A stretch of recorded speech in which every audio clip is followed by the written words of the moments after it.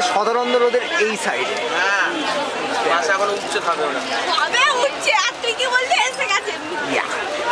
আমাকে বললাম আমি এসে গেছি। তো যখন বললাম ওই সাইড আমি একটু ঘুমিয়ে চেষ্টা ওই দিক থেকে আরও পার হতে পারে থেকে টুক করে গিয়ে ঘন্টায় ঘুরে আসবে। এই রাস্তায় চালার বাংলায় বেরিয়ে যেতে হবে। আমরা দোকানে আটকে আছি। কারণ আমরা যেতে পারছি না। ভিড় পেরিয়ে এই ফুটপাথ মা বাউলি তো।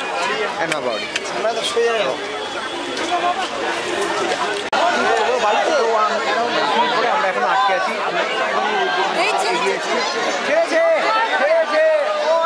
ফাইনালি আমরা যেতে পারব ডান দিকে ও আচ্ছা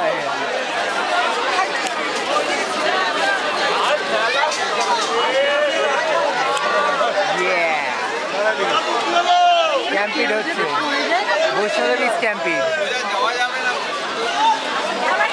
অনেক লোক আসছে আর আর ওই ছাগল আমরা ওখান থেকে মোটামুটি খাদের পাশে যেমনভাবে দেয়াল ধরে ধরে এগোয় সেভাবে এগোলাম খুবই চাপের ব্যাপার ওই যে ঢুকছে স্ট্যাম্পিড ঢুকছে না না সকালবেলা আসব এই অসম্ভব সকালবেলা আসতে হবে হ্যাঁ। ঠিক আছে আসবে আমি তো বলেছিলাম কালকে সকালে আসতে